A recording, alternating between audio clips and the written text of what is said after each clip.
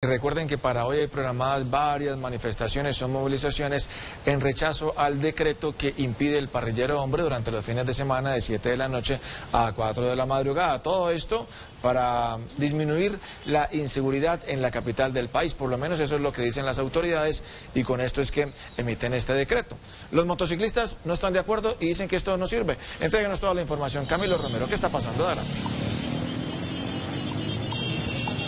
Sandra, Aníbal y televidentes, muy buenos días. Pues precisamente nosotros nos encontramos en este momento en la avenida Villavicencio con avenida Ciudad de Cali, donde avanzan las movilizaciones por parte del gremio de motociclistas. Precisamente nos encontramos con uno de los líderes de ese gremio que nos va a decir cómo va a ser la ruta que van a ustedes manejar el día de hoy en estas movilizaciones que se van a realizar.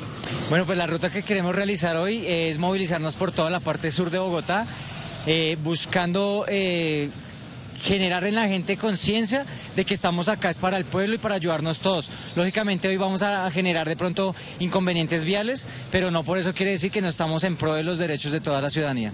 Precisamente en este momento hay cerca de 70 motociclistas. ¿Cuántos esperan que se reúnan hoy por parte de su gremio? Nuestra convocación y, los que ya están confirmados son 400 motociclistas. ¿Y qué es lo que le piden exactamente a la alcaldía y por qué son estas manifestaciones? Vamos a pedir algo exacto y directo, alcaldesa. No queremos la restricción. Eh, el tema no es de que dialoguemos sobre si lo podemos extender o no, sino no queremos restricción y punto.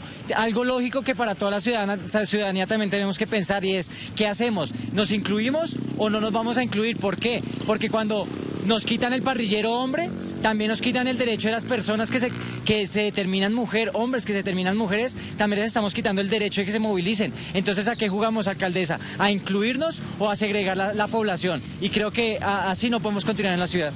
Desde ustedes, ¿cuáles son esas recomendaciones que le dan la ciudadanía para tener hoy en cuenta en este día de movilizaciones por parte del gremio? de que todas las personas que puedan colaborar eh, haciendo su voz de protesta lo hagan desde el bus, desde el Transmilenio, desde su moto, desde su carro y que estén pendientes. Hoy la ciudad va a estar un poco colapsada y vamos a tener la movilización un poco lenta, así que prevenir, eh, evitar y prevenir tiempos. Vale, muchas gracias. Precisamente como esta de momento las manifestaciones que hay en este punto de la ciudad serán varias las que se van a desarrollar y movilizar en este momento. Ellos van a dirigirse hacia el sur de la ciudad y nosotros les estaremos entregando el reporte de cómo avanzan estas manifestaciones y la movilidad en la ciudad. Por ahora es toda la información. Continúen ustedes con más en Arriba Bogotá, que sí le responde a la ciudad.